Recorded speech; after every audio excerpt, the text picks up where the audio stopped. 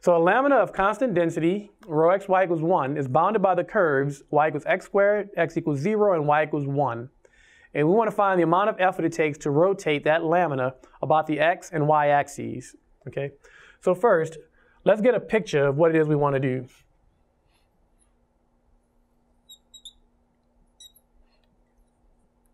So if I plot y equals x squared, it's just a parabola, like so. Okay. We also have the line y equals 1. So y equals x squared, y equals 1. And then x equals 0 is just the y-axis. So clearly, my region is going to be here. All right, so we put the x equals 0 axis. And if I want, I could treat this as both a type 1 and a type 2 region. Uh, let's treat it as a type 1 and see if we can spell out the region R. So I want to sweep an arrow from here to this corner. But how do I know where this corner is? Well, it has to be the place where x squared is equal to 1. Okay, so if x squared is equal to 1, that says that these two graphs should meet at plus or minus 1. All right, but at minus 1, um, it's not the region that we're concerned with, so we'll just keep the plus 1. And I can write my region R now. It's all xy such that I'll sweep my x from 0 to 1, and my y will go from a lower bounding function of x squared, so it'll ride along the x squared, it's my lower bounding function, to an upper bounding function y equals 1. So my y lower is going to be x squared, and my y upper is going to be 1. Okay. And now we can write our double integral. Okay. So to find ix, we write this as the double integral over r as uh, our integrand becomes the product of y squared times rho xy uh, dA. And we have everything we need. Rho xy is 1. All right. So we really just have the integral of y squared, and then our dA will fall out once we put in our limits of integration. So this just becomes the integral from 0 to 1 on x. So I'll put a dx here. And then x squared to 1 on y. So I'll put my dy on the inside. Okay? And then y squared times 1, it's just going to be y squared. So now, if I integrate the inner iterated integral, I'll get a third y cubed. So this becomes 1 third. I guess I could still write the integral from 0 to 1. And this becomes y cubed evaluated from y lower equals x squared to y upper equals 1 dx. All right. So now I'll have, so I put it here, 1 third, the integral from 0 to 1. And at the upper bound, I get 1 cubed, just 1, minus at the lower bound, I get x squared cubed. And when you raise a power to a power, we multiply the exponents. I get x to the sixth dx. All right.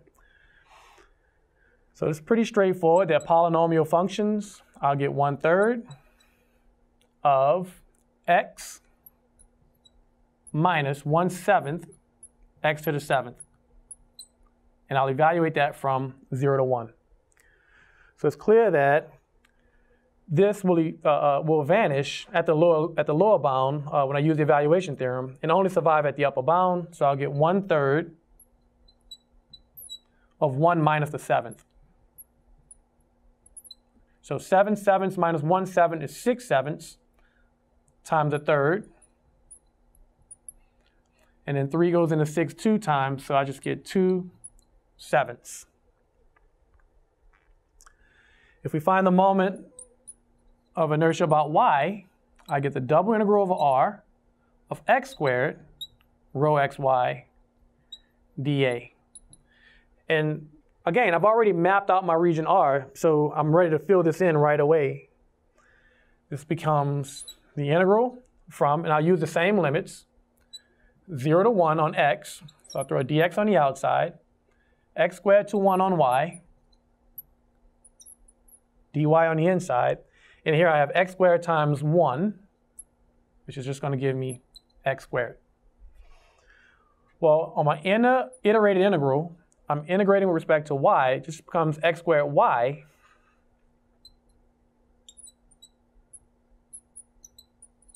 as y goes from x squared to 1. y lower equals x squared to y upper equals 1. And then we'll pass that to uh, the dx. So this just becomes x squared times 1 minus x squared.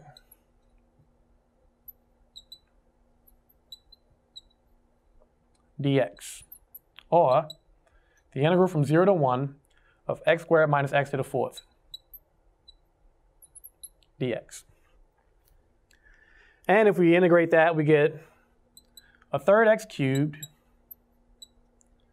minus 1 fifth x to the 5 evaluated from 0 to 1. Again, survival at the upper limit and vanishes at the lower, so we get a third minus a fifth, which is so many fifteenths. 3 goes into 15, 5. 5 times 1 is 5 minus 5 goes into 15 three times. 3 times 1 is 3. I get 2 fifteenths. So I know we're not asked, but if I wanted to determine uh, whether it's more difficult or requires more effort to rotate this piece about the y-axis uh, than say about the x-axis, we to uh, use a skewer, um, let's find out how much more effort it would take. So let's just compare them by maybe taking the ratio of ix to iy. Okay, so when we compare numbers, we can compare them through division or subtraction. So let's see, I'll have 2 sevenths divided by 2 fifteenths. And if I invert and multiply, let's see, I get 2 sevenths times 15 halves, which gives me 15 sevenths. And another way to say this is that Ix is equal to 15 over 7 times Iy. Okay? So it's a little bit more than two times more difficult to rotate it about the x-axis than it is about the y. And you could almost look at the picture and, and, and tell uh, just by sort of where uh, the geometry uh, has most of its weight. So if I were to rotate about the x, you could see maybe I'd have more effort because of all this weight being farther away from the axis, whereas about the y, uh, maybe not as difficult. Thank you.